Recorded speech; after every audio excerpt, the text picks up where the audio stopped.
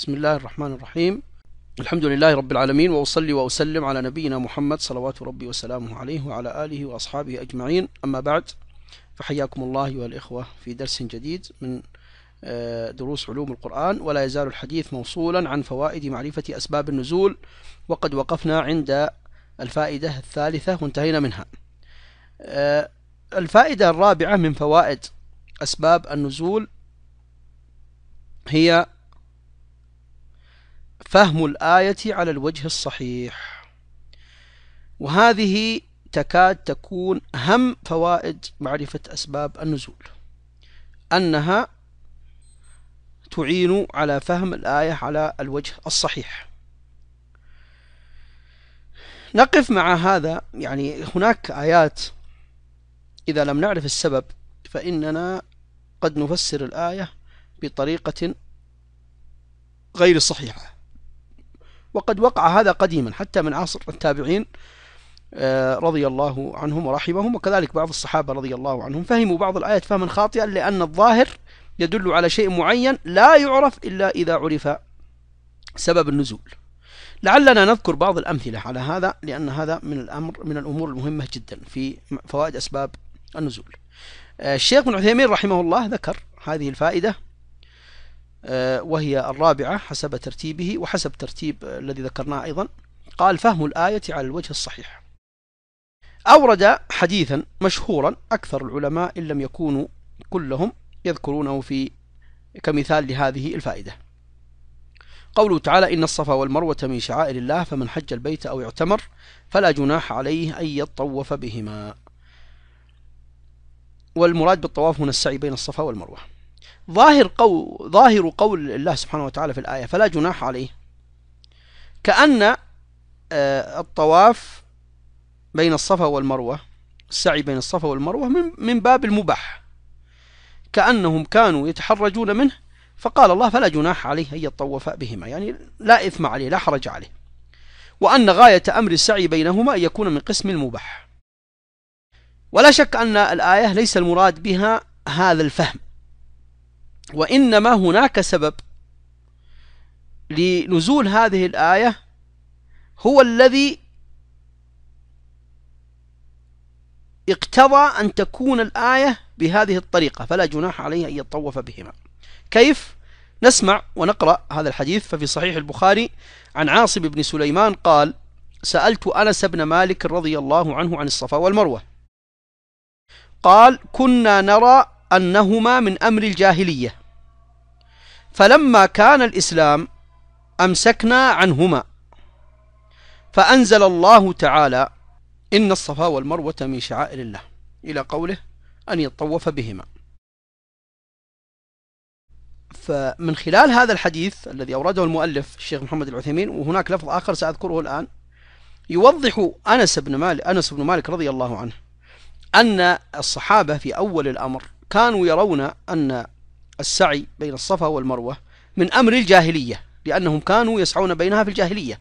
وكان عند الصحابة رضي الله عنهم آه، تحرج من كل شيء كان من أمور الجاهلية لأنهم يخشون أن لا يكون مشروعا في آه، دين الإسلام.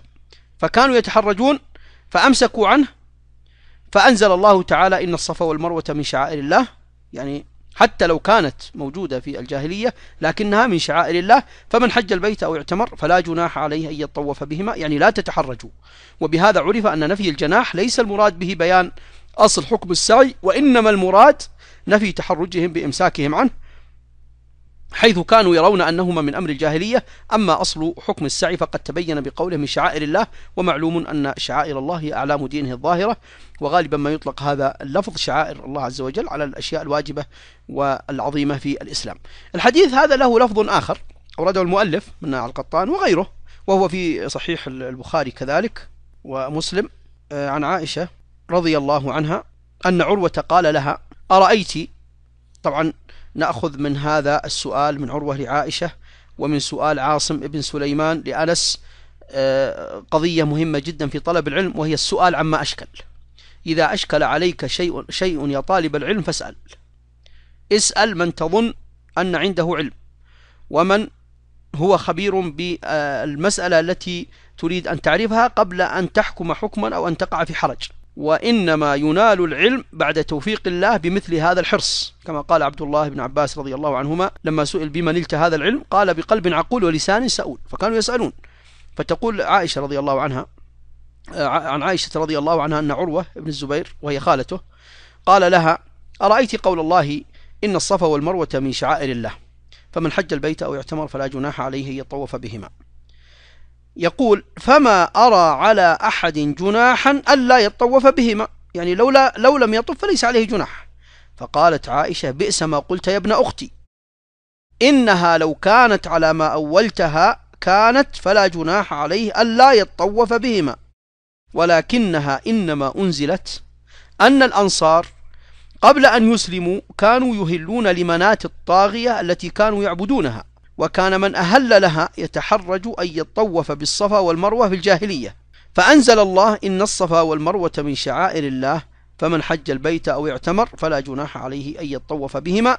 قالت عائشة ثم قد بين رسول الله صلى الله عليه وسلم الطواف بهما فليس لأحد أن يدع الطواف بهما. فلو لم نعرف هذه الأسباب لكان هناك من يظن أن الطواف كما ظن عروة رضي الله عنه وغيره أن الطواف بين الصفا والمروة الطواف طبعا يطلق على السعي من باب المباح له أن يطوف وله أن لا يطوف.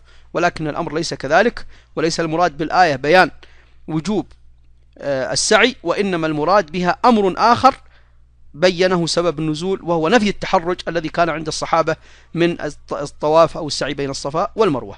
لعلنا نضرب مثال آخر والأمثلة متعددة. قول الله تعالى في سورة المائدة ليس على الذين آمنوا وعملوا الصالحات جناح فيما طعموا إذا ما اتقوا وآمنوا وعملوا الصالحات ثم اتقوا وآمنوا ثم اتقوا وأحسنوا والله يحب المحسنين. أحد الصحابة رضي الله عنهم في زمان عمر أو عثمان رضي الله عنه شرب الخمر. فلما قيل له في ذلك ورفع أمره قال ليس علي جنح قالوا كيف؟ قال إن الله يقول ليس على الذين آمنوا وعملوا الصالحات جناح فيما طعموا. أي شيء. إذا ما اتقوا وآمنوا وعملوا الصالحات ثم اتقوا وآمنوا ثم اتقوا وأحسنوا. فأنا مؤمن فأنا من الذين آمنوا واتقوا وأحسنوا. طبعا فصححوا له الفهم. وكان متأولا والآية ليس فيها بيان حل الخمر أو أي طعام للمؤمن لا. وإنما سبب نزول هذه الآية وقد جاءت بعد آيات الخمر مباشرة. يا أيها الذين آمنوا إنما الخمر والميسر والأنصاب والأزلام رجس من عمل الشيطان فاجتنبوه لعلكم تفلحون. فكانت الصحابة كانت الخمر قبل ذلك مباحة. فسأل بعض الصحابة طيب وكيف بمن مات وهي في بطنه وكان يشربها؟ كيف بمن مات قبل نزول هذه الآية قبل نزول تحريم الخمر وهو يشرب الخمر؟ حتى إن بعض الذين استشهدوا في أحد كانوا يشربون الخمر بل استشهدوا وهي في بطونهم لأنها لم تكن حرمت. فأنزل الله ليس على الذين آمنوا وعملوا الصالحات. يعني فيما سبق جناح فيما طعموا إذا ما اتقوا وآمنوا وعملوا الصالحات ثم اتقوا وآمنوا ثم اتقوا وأحسنوا ولا تتحقق التقوى إلا بترك ما حرم الله. وأولئك قد تركوا ما حرم الله لكن الحم الخمر لم تكن قد حرمت قبل. فلا نعرف الآية على الوجه الصحيح إلا إذا كان لها سبب نزول. وهذا من أهم فوائد أسباب النزول لعلنا نقتصر على هذا ونقف عند هذا الحد. أسأل الله جل وعلا أن يرزقنا العلم النافع والعمل الصالح وأن يهدينا لكل ما فيه الخير لنا في الدنيا والآخرة. والله أعلم. وصلى الله على نبينا محمد وعلى آله وأصحابه أجمعين.